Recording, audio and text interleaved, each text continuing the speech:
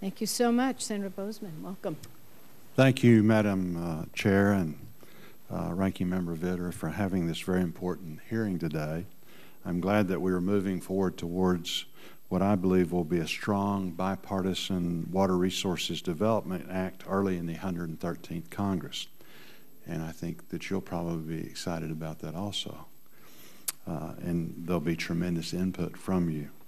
I'm also glad that the improvements to the harbor maintenance may be part of this process. Every American benefits from the harbor maintenance.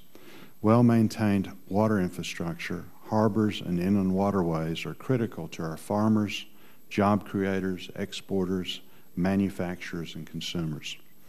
One of our witnesses highlights the tremendous advantage American farmers enjoy over foreign competitors when the Mississippi River is at fully authorized dimensions. Water infrastructure does not get the attention of our other transportation modes, but is an indispensable part of our transportation system. I believe it is I believe in the principle that the Harbor Maintenance Trust Fund should be fully used. But I also agree with our witnesses who emphasize that the trust fund should be used to boost funding for the Corps of Engineers. I'm concerned that our budget process, specifically limited allocations for energy and water, could result in cuts to other core priorities if we don't do this properly. In short, as one witness prepared remarks state, this should be additive.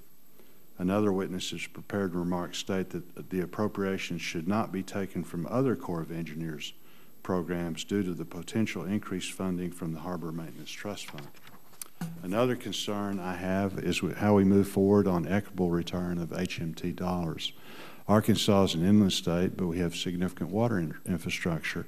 Our state, as many other states like it, receives just a tiny portion of the trust fund dollars, but these funds are critical.